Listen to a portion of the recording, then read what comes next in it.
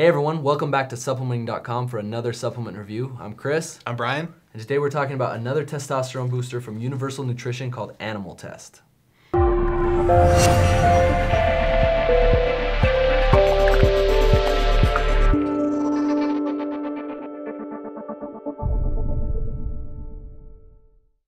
Now, Animal Test is a, a safe, natural testosterone booster. It's not a steroid or pro hormone. Something that anyone can benefit from, especially if you're in your mid to late 20s. Testosterone levels start to decline. So, if your main goal is, is building muscle and trying to sustain more energy, um, something like a natural testosterone booster is going to uh, go a long way towards helping you with that goal. Yeah, absolutely. And Animal Test is kind of an interesting testosterone booster when you compare it to some of the other supplements out there that are supposed to boost your testosterone levels because it doesn't have some of those popular testosterone boosting ingredients you would expect to find in a testosterone supplement.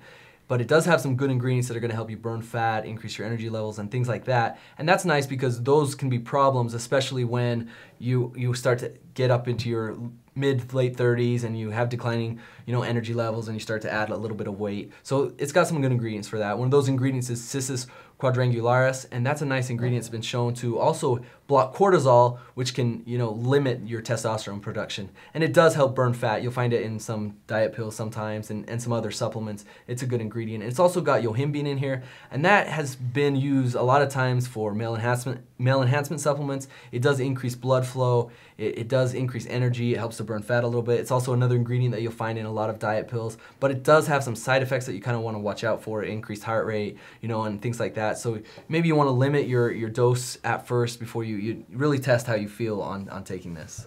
It also has a hypertrophic response matrix, which includes bioperine. It's a, a nutrient that helps to enhance bioavailability of food. Uh, so really what that does is just increasing your metabolism by allowing your body to more efficiently use its food. It's going to help you get more energy out of the carbohydrates that you're eating. Um, so this is the packet of pills that it's going to look like. Uh, you might have thought it's a powder because of the canister, but you just take one packet after you're done uh, with your last meal before you work out. And it can be a little bit pricey. Sometimes it's about $65. The bottle will last you about 21 days. Uh, so that's something to take into consideration as well if you do decide to try animal test.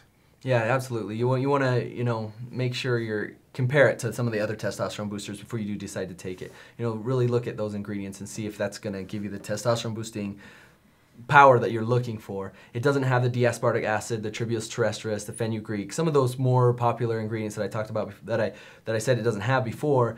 But it, it can be a good ingredient if you are looking for, you know, I mean, a good supplement if you are looking to increase your energy, burn fat, and, and those, like I said, can be some of the problems when you when you have declining testosterone. Um, if you are interested in getting animal test, head over, definitely head over to supplementing.com. It's the best place to get your supplements. You know, we've seen prices for this, you know, almost double in some places, then you'll find it at supplementing.com. So definitely check it out. And thanks again for watching another supplement review.